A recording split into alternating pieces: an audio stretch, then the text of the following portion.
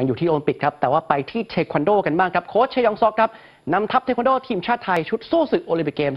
2016 เก็บตัวฝึกซ้อมที่ประเทศอังกฤษนะครับ เน้นเทคนิคการทำคะแนนจากเกราะไฟฟ้ารูปแบบใหม่ครับความเคลื่อนไหวของทัพเทควันโดทีมชาติไทยชุดสู้ศึกโอลิมปิกเกมส์ 2016 ครับที่ประกอบด้วยน้องเทนนิส พาณิภัค วงศ์พัฒนกิจครับดีกรีแชมป์โลกปี 2558 และแชมป์เอเชียปีล่าสุดในรุ่น 49 กิโลกรัม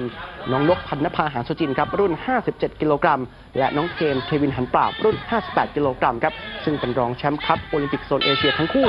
ภายใต้การฝึกซ้อมของโค้ชเช ยองซอกผู้ฝึกสอน และชัชวาล ขาวละออผู้ช่วยโค้ชที่กำลังเก็บตัวฝึกซ้อมที่ประเทศอังกฤษโดยในช่วงเช้าโค้ชเชได้นำนักกีฬาไปว่ายน้ำภายใน sport club ของโรงแรม Millennium Madejski เมืองเรดดิ้ง เพื่อให้เป็นการออกกำลังกายในทุกส่วนครับ จากนั้นในช่วงบ่ายครับไปฝึกซ้อมต่อที่ sport club ของเมืองวินเซอร์โดยนักกีฬาจับคู่เตะเพื่อรู้เทคนิคการได้คะแนนจากเกราะไฟฟ้าใหม่ ที่ทำคะแนนได้ยากมากนะครับ โดยคู่ระหว่างน้องเทนนิสกับน้องนกต้องลงซ้อมเตะนานถึง 6 ยกครับ ต่อด้วยคู่ระหว่างโค้ชแม็กกับเจ้าเทมใช้เวลาในการฝึกซ้อม 2 ชั่วโมงเต็มครับ